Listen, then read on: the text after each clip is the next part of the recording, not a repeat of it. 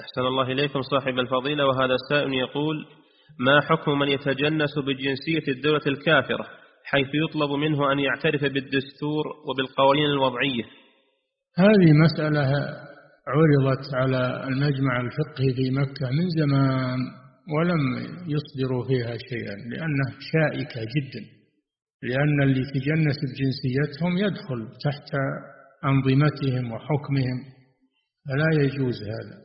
لا يجوز. هذا وصادر فيها فتاوى من علماء المغرب قديمة فتاوى قديمة من علماء المغرب لما استولى الفرنسيون على على تونس وعلى بلاد المغرب تكلم العلماء في هذه المسألة ومنعوا من التجنس بجنسيتهم.